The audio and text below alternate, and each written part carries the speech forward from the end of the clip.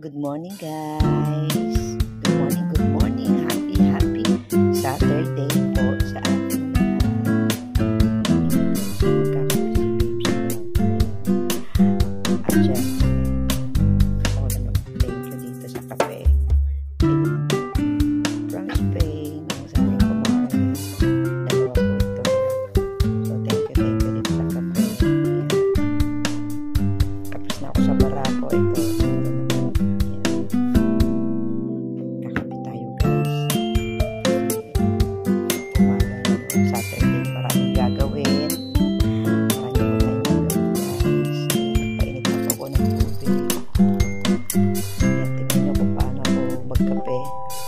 Kung gaano ka dami.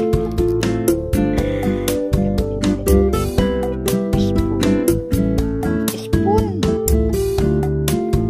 Siyempre, kuha tayo. Ganyan. Yan o, tingnan nyo. Madami na ba yan sa inyo? Mag guys, matapang po ako magkape. Ayoko nang masyadong malabnaw na kape. Yan. Kasi yung iba po malabnaw. Yan, pero ako matapang po magkape. Minsan hindi na ako nagki-creamer. Kasi walang pang creamer. Oh. Tapos, mga dalawang scoop lang ito. Kasi matamis naman ah. Ayan, morning, morning. And shout out po sa lahat. Nebor, kape na tayo. Think, think man natin kung okay na siya. Hmm, tabang pa. Ayan. Sa mga dalawang scoop nga nito. Punong-puno pa, oh, guys. So, grabe, ano? Grabe kung mag-asukal. Pero minsan, sabi nila, paano mag-asukal sa kape? Pero minsan, di natin natis eh. Kasi ma, ko naman ang kape ay napaka